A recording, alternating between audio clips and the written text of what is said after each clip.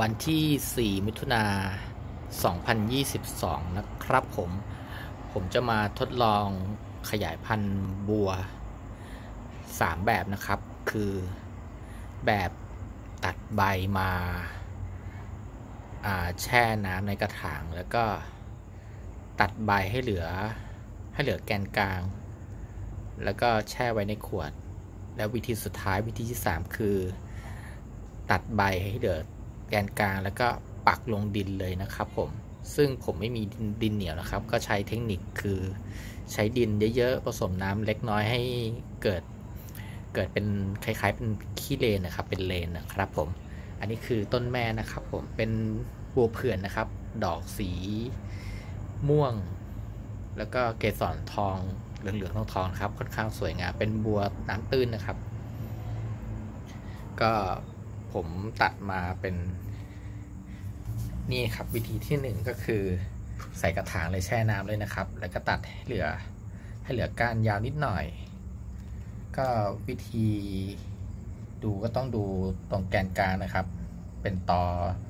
เป็นตาเป็นตาตรงกลางเนี่ยครับ ถ้ามีก็จะขยายพันธุ์ได้ง่ายนะครับ อันนี้คือวิธีที่หนึ่งที่ผมทำนะครับ อันนี้ก้านลอยเดี๋ยวผมจะหาอะไรมาถ่วงการจมน้ำหน่อย วิธีที่สองก็คือนี่นะครับก็จะมองค่อนข้างยากนิดหนึ่งอ่านนี้นะครับ ก็คือ ตัดซูมโฟกัสค่อนข้างยากก็เดี๋ยวไปดูตัวนี้ด้วยกัน ก็คือ ก็คือตัดตรงนี้นะครับ ตัดให้เหลือแต่ตรงกลางตรงนี้นะครับ ให้เหลือแต่ตรงกลางตรงนี้ แล้วก็ตัดก้านออกมาให้ เหลือประมาณแค่นิ้วเดียวนะครับผม แล้วก็ปล่อยให้ลอย ปล่อยให้ลอยในขวดน้ำตรงนี้เลยนะครับ นี่คือวิธีที่2นะครับ วิธีที่ 3 ก็คือ ตัดก้านอย่างนี้เลย ตัดอย่างนี้เลย ให้เหลือตรงแกนกลางตรงตานะครับ ตรงตาแกนกลางแล้วก็เหลือเหลือก้านบัวประมาณนิ้วหนึ่งแล้วก็ปักลงดินเข้าไปในนี้เลย ผมปักลงไปแล้ว มันจะมองไม่เห็น ต้องรอสักวันหนึ่ง น้ำข้างบนเนี่ยจะตกตะกอนลงไปก็จะใสใสขึ้นนะครับ ผมวางวางไว้สองสองตานะครับ ผมเรียกว่าสองตาแล้วกันผมไม่รู้ว่าจะเรียกว่าอะไร อันนี้คือ 3 วิธีที่ทำนะครับ 4 มิถุนายน 2022 นะครับ เราจะมาดูกันว่าวิธีไหนจะให้ผลได้เร็วกว่ากันนะครับ อีกวิธีหนึ่งอะ มันคือวิธีการเก็บเมล็ด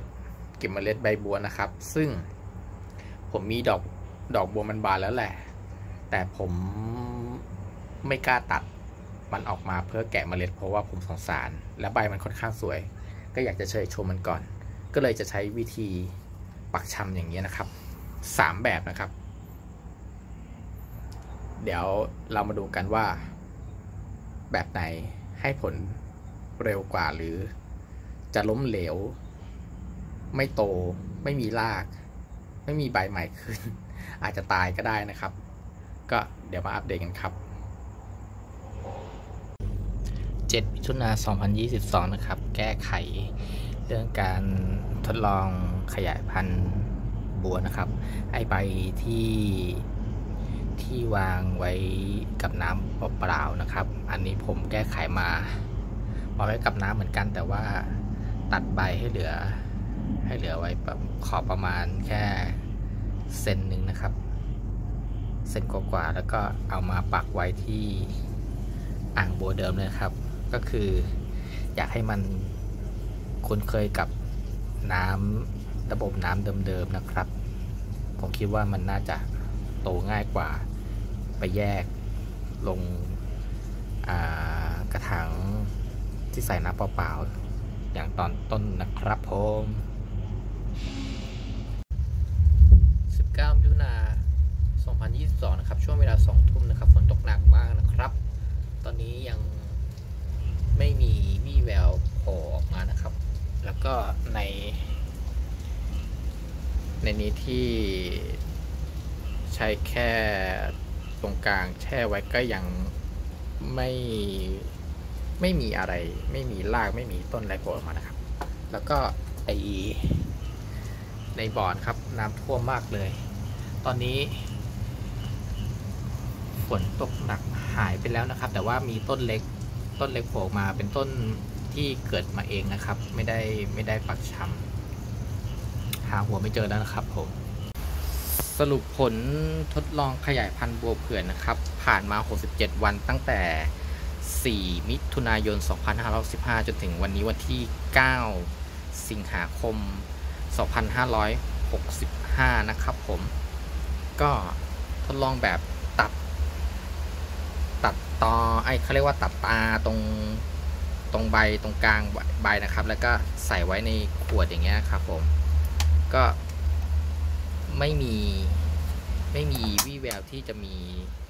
ลากโผล่มาเลยสักอันเลยนะครับส่องดูแล้ว ก็เหมือนจะเน่าหมดเลยนะครับ ก็ น่าจะล้มเหลว ส่วนอันนี้ก็คือ ที่ปักลงดินลงไปนะครับ ผม ก็ยังไม่มีวี่แววจะมีหน่อหรืออะไรโผล่ขึ้นมาเลยนะครับ ก็ยังหวังเล็กๆว่ามันอาจจะโตช้าหรือเปล่า ก็อันนี้จะรอดูต่อไปนะครับ ส่วนอันเนี้ยไม่น่าจะไหวแล้ว